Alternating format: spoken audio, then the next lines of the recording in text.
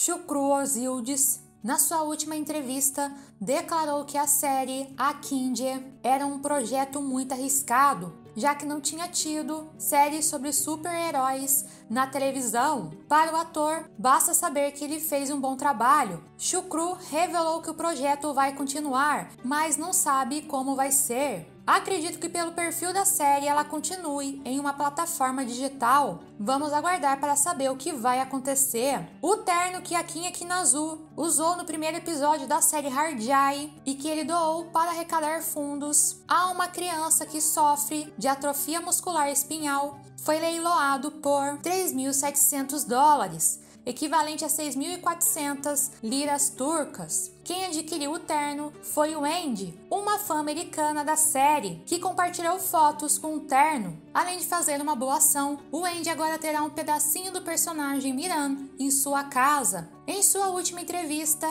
a atriz Hander Chai disse que está tudo bem em seu relacionamento com Keran Bursin. Além disso, Hander comentou como foram as férias nas Maldivas com a família da sua irmã e com Keran. Lembrando que foi durante essa viagem que o casal anunciou o relacionamento. Rande disse que as férias foram agradáveis e que eles precisavam daquele tempo e que agora estão de volta ao trabalho. Os paparazzis também comentaram sobre a saída da atriz Melissa Dongai da série Sential Campamã para ingressar no elenco da nova série de verão, Ashkiman Tekin Tekan. Lembrando que a protagonista dessa produção, que será lançada essa semana, é Burju Osberg, amiga de Randê. Sobre Melissa estar trabalhando com Burju, a atriz disse o seguinte: abre aspas, não podemos visitar o set de gravação de outras produções por causa da pandemia, por isso não fui visitá-las. Vai ser bom para Melissa, pois Burju está lá. Ela é minha melhor amiga. Espero que seja muito bom para elas.